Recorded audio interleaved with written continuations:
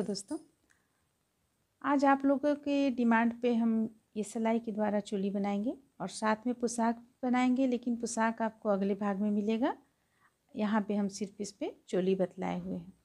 देखिए, इसमें कुछ हम बहुत ही हल्का सा और बहुत ही प्यारा सा डिज़ाइन डाले हुए हैं। ये इस तरह का डिज़ाइन डालकर बनाए हुए हैं। अगर आप इसे अलग से देखना चाहेंगे तो देखिए, ये डिज़ाइन कुछ इस तरह का है। इस डिज़ाइन पे ही हम ये चोली बनाए हुए हैं। जो देखिए यहाँ देखने में कुछ इस तरह का लग रहा है। आइए देखते हैं कैसे बनता है। तो चलिए इसे हम बनाना शुरू करते हैं। शुरू करेंगे हम चोली से। उसके पहले बतला दें आपको कि हम बेबी ऊन लिए हुए हैं। हम अधिकतर यहाँ पे बर्धमान या ओसवाल का ऊन यूज़ करते हैं। तो ये ले लेने के बाद यहाँ पे हम फंदे डाल रखे हैं। तेईस फंदा डाले हुए हैं। डिज़ाइनर फंदा है, तेईस फंदा है। अब यहाँ पे हमें क्या करना है? फंदे को हम सीधा बुनेंगे। एक लाइन हमें बिल्कुल सीधा बुनना है।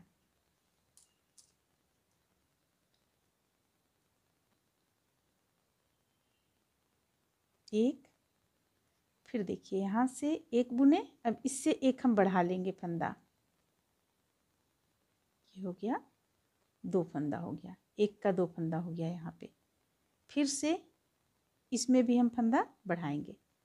यानी जो हम बुन रहे हैं, तेईस फंदा लिए हुए हैं तो इस पर जो हम बुनेंगे, वो एक फंदा सीधा बुनेंगे, इसके बाद हम फंदों को बढ़ाते चले जाएँगे, एक फंदा से दो फंदा करेंगे। आप इस तरीके से भी कर सकती हैं, फंदा बढ़ा सकती हैं, या आप जाली भी यहाँ पे डाल सकती हैं।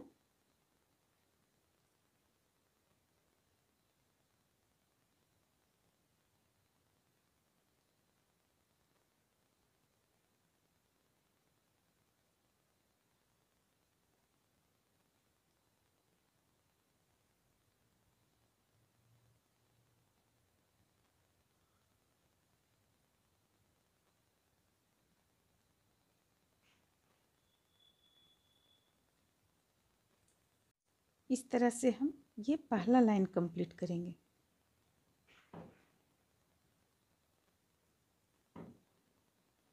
देखिए हमारा यहाँ पे दो फंदा बचा है, जिसमें हम एक फंदा में यहाँ पे बढ़ा रहे हैं फंदे को, एक से दो किए। अब लास्ट का जो ये फंदा बचा है, इसे हम सीधा बुन लेंगे। तो इस तरह से फंदा हमारे पास बढ़ गया। अब इसे पलट लेंगे। पलटने के बाद अगर आप यहाँ चाहती हैं, इसे तो यहाँ एक आप यहाँ गांठ दे सकती हैं ताकि ये खुले ना। बाद में हम फिर इसे एडजस्ट कर लेंगे, किस तरह से करना है हमें। अब उल्टा तरफ़ से हम पूरा उल्टा बुनेंगे। पहला फंदा उतार लेंगे और जितना भी फंदा है यहाँ पे, सबको हम उल्टा बुन लेंगे। इसके बाद हम डिज़ाइन शुरू करेंगे।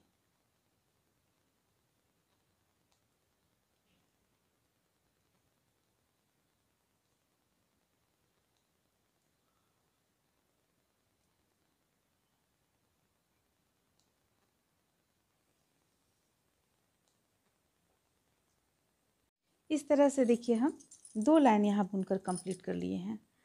ग्यारह नंबर का हम सिलाई यहाँ पे लिए हुए हैं। देखिए ग्यारह नंबर से बुन रहे हैं। अगर आप इसे ग्यारह नंबर से नहीं बुनेंगी, दस नंबर से बुनेंगी अगर तो आपको यहाँ पे फंदा कम लेना होगा। तो देखिए, और ये ऊन है थ्री प्लाई का। तो देखिए ये एक लाइन कंप्लीट हो जाने के बाद, अब हम यहाँ पे डिज़ाइन बनाना शुरू करेंगे। पहला फंदा उतार लेंगे। हम ये दूसरे फंदे से ही डिज़ाइन बनाना शुरू करेंगे। तो इस तरह से देखिए फंदे को हम इस तरीके से लेंगे, दोनों फंदे को, और यहाँ पे इस ढंग से ले लेंगे। लेने के बाद उल्टा बुनेंगे हम। देखिए जो हमारा यहाँ पे चला आ रहा है, देखिए ये खिंचाते चले जा रहा है तो इसे हम नहीं, इससे नहीं बुनेंगे हम। जो हमारा यहाँ पे पहला फंदा बुनने पर जो यहाँ पे लिए हम, यहाँ देखिए बुना हुआ है।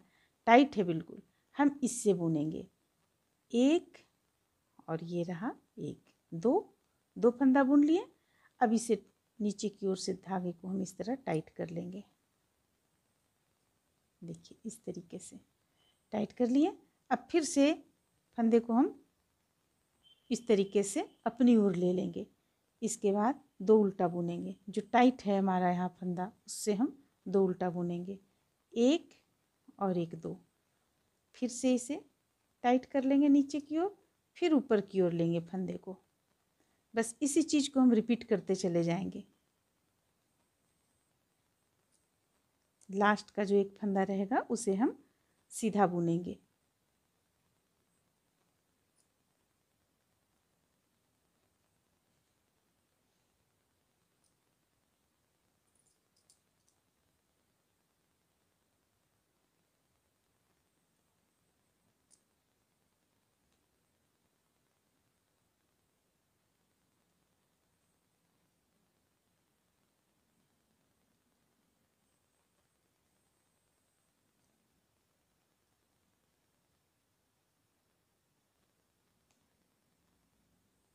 इस तरह से बुनते हुए हम इस लाइन को सबसे पहले कंप्लीट कर लेंगे। हमारा ये पहला डिज़ाइन का पहला लाइन रहेगा। अब देखिए, अब यहाँ पे लास्ट हमारा तीन फंदा बचता है। तो हम तीन फंदा किस तरह से बुनेंगे? ये फंदे को अपनी ओर करेंगे और ये जो दो फंदा है, इसे हम उल्टा बुनेंगे दो। एक और एक दो।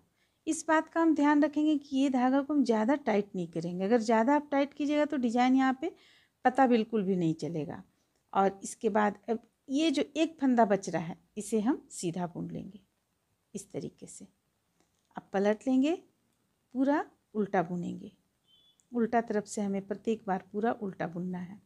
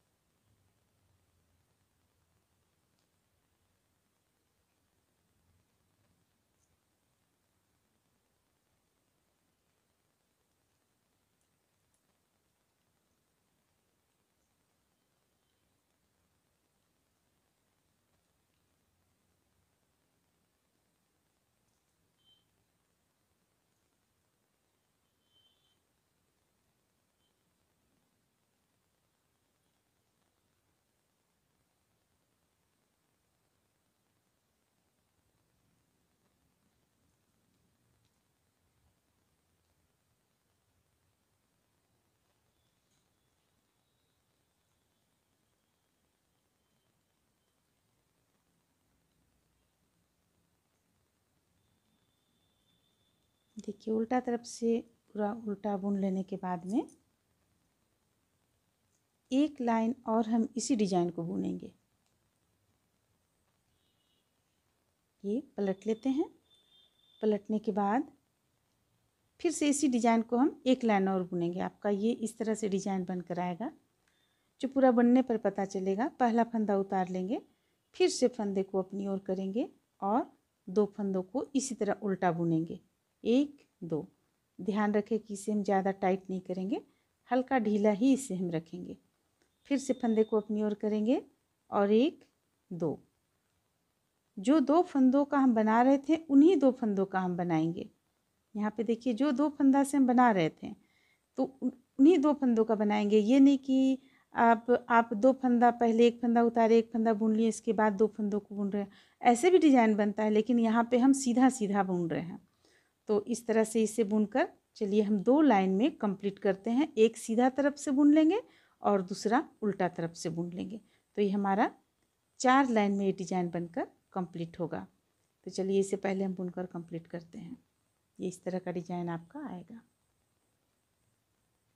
अब देखिए, ये हम उल्टा तरफ़ से भी नहीं बुने हुए हैं। सीधा तरफ़ से पूरा सीधा बुन लिया, अब उल्टा तरफ़ से बुनेंगे। तो उल्टा तरफ़ से हम यहाँ पे फंदों को बढ़ाना है। किस तरह से हम फंदा बढ़ाएँगे? पहला फंदा उतार लेंगे, दूसरा फंदा बुनेंगे, ये दो हो गया, फिर ये हो गया तीन, ये हो गया चार। अब यहाँ पे हमें एक फंदा बढ़ाना है तो हम इस तरीके से बढ़ाएँगे एक, फिर इसे हम उतारेंगे और इस तरीके से यहाँ पलटेंगे। पलटने के बाद फिर इससे हम इस तरीके से बढ़ाएँगे। आप इस तरह से आप और अलग तरीके से बढ़ा सकती हैं, जैसे कि हम आगे बतलाते हैं। चार के बाद एक फंदा बढ़ाएँ। फिर एक, दो, तीन, चार। ये चार हो गया, अब फिर से एक बढ़ाएँगे। एक, दो का एक कर लिए। इस तरीके से बढ़ा सकती हैं आप। फिर फंदे को हम अपनी ओर करेंगे। फिर से चार फंदा उल्टा बुनेंगे। दो, तीन, चार। और फिर से हम एक फंदा बढ़ा लेंगे। फिर फंदे को अपनी ओर करेंगे, फिर चार फंदा पर एक फंदा बढ़ाएँगे, दो, तीन, चार। फिर से एक फंदा, चार के बाद एक फंदा यहाँ बढ़ा, फंदे को अपनी ओर करेंगे, फिर से एक, दो, तीन, चार। फिर से अब एक से दो बनाएँगे, एक फंदा यहाँ भी बढ़ गया फंदे को अपनी ओर करेंगे। चार फंदा बुनेंगे। एक, दो, तीन, चार। फिर एक बढ़ाएँगे। फिर से फंदे को अपनी ओर करके एक, चार फंदा बुनेंगे। दो, तीन, चार। फिर से एक फंदा यहाँ पे बढ़ेगा। चार के बाद हम एक बढ़ा रहे हैं, इस चीज़ को ध्यान में रखें। एक, दो, तीन, चार। फिर से यहाँ पे एक फंदा बढ़ जाएगा। फिर ये चार बचा अब हमारे पास फंदा, ये चार हम प्लेन बुन लेंगे उल्टा। एक, दो, तीन, चार। तो देखिए, चार के बाद एक एक फंदा को हम यहाँ पे बढ़ाते चले गए हैं। अब इसे अगर आप चाहती हैं तो एक लाइन आप यूँ ही बिन सकती हैं और नहीं तो आप यहाँ पे बाह निकाल सकती हैं। तो चलिए हम यहाँ पे बाह निकालेंगे। देखिए बाह किस तरह निकालेंगे। पहला फंदा उतार लेंगे और अगर आप चाहें तो डिज़ाइन यहाँ जारी रख सकती हैं या तो आप इसे प्लेन बुना, बुन सकती हैं। तो अब यहाँ पे हम प्लेन बुन रहे हैं। एक, दो, तीन, चार, पाँच, छ सात, आठ। ये आठ फंदा हम आगे पल्ला में रखेंगे। अब फिर से हम यहाँ पे बाह निकालेंगे। एक, दो दो फंदा बुनने के बाद पीछे का फंदा आगे की ओर ले जाके गिराएँगे, बंद करेंगे, यानी कि ये इस तरीके से एक, हमें दस फंदा बाह में बंद करना है। दो, ज़्यादा टाइट हम नहीं बंद करेंगे, हल्की हाथों से बंद करेंगे। तीन चार पाँच छ सात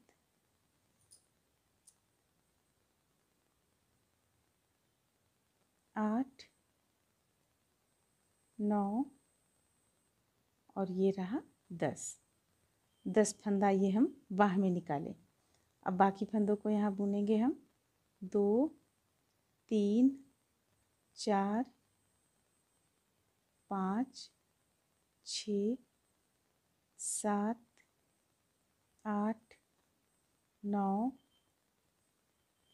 दस, ग्यारह, बारह, तेरह, चौदह, पंद्रह, सोलह।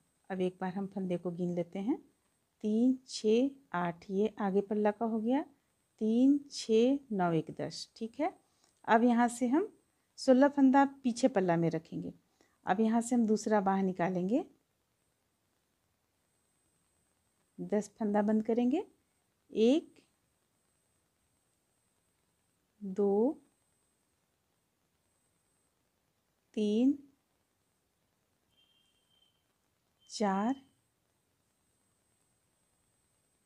पाँच, छ, सात, आठ, नौ और ये रहा लास्ट का दस। तो यहाँ पे देखिए दूसरा भी बाँह निकल गया। अब इन फंदों को हम सीधा बुन लेंगे। दो तीन, एक फंदा पहले से था तो तीन हुआ। चार, पाँच, छ, सात और एक आठ। अब देखिए इस तरह से यहाँ पे देखिए बाह निकल गया है। दोनों बाह निकल गया है कान्हा जी का। अब उल्टा तरफ़ से देखिए हमें किस तरह बुनना है और किस तरह से फिर से डिज़ाइन को हमें यहाँ पे सेट करना है।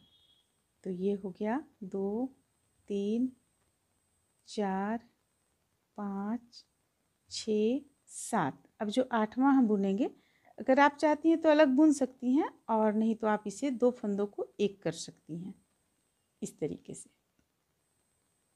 इस तरीके से करेंगे तो बाँ यहाँ पे अलग तरह का जुटा हुआ आएगा। फिर से हम, यानी इस लाइन पे हमारा दो फंदा यहाँ पे कम हो जाएगा। क्योंकि दोनों बाँ के पास में हमें इस तरह से बनना, बनाना है, दो का एक करना है। अब देखिए, जैसे यहाँ पे है तो यहाँ भी हम एक, ये और एक, ये दोनों को मिलाकर भून लेंगे।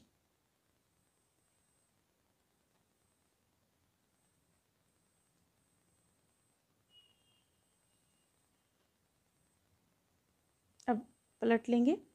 देखिए, ये ये आपका इस तरह से चोली आ रहा है। देखिए डिज़ाइन यहाँ पे कुछ इस तरह का लगेगा देखने में।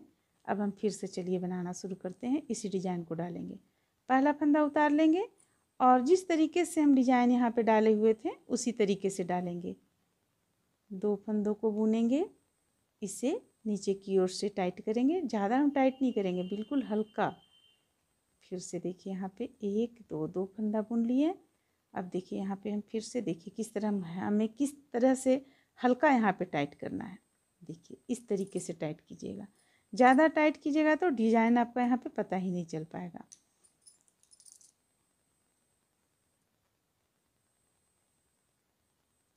फिर से एक, दो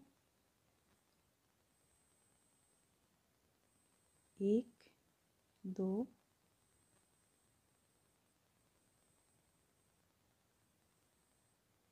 एक, दो, बस इसी डिज़ाइन को हमें यहाँ पे डालना है।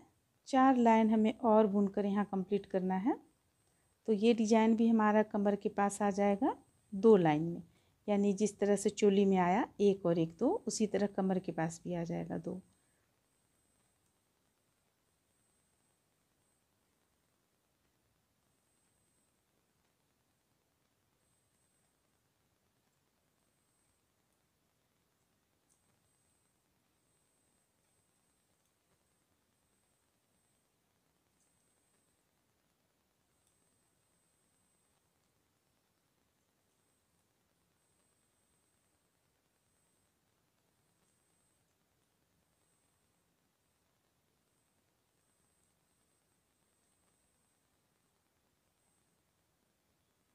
अब एक ये हमें सीधा बुनना है। लास्ट का फंदा सीधा बुन लेंगे इस तरह से। देखिए, अब उल्टा तरफ़ से हम पूरा उल्टा बुन लेंगे। तो चलिए, उल्टा तरफ़ से पूरा उल्टा बुनेंगे और इसे हम एक लाइन में और इस डिज़ाइन को, यानी तीन लाइन और हम बुनेंगे। उल्टा पूरा, फिर सीधा, फिर उल्टा। इतना बुनकर हम कंप्लीट कर लेते हैं। इस तरह से देखिए, हम सिलाई से इसे नहीं उतारे हुए हैं। आपका ये चोली इस तरह से बनकर तैयार हो जाएगा यहाँ पे। आगे तरफ़ से भी देखने में कुछ इस तरह का लगेगा। तो इस तरह से हम ये चोली बनाएँगे। अब चलिए अगले अगले भाग में इसमें आपको इसका पूरा घेरा बनाने के लिए बतलाएँगे। चलिए फिर मिलते हैं अगले वीडियो में।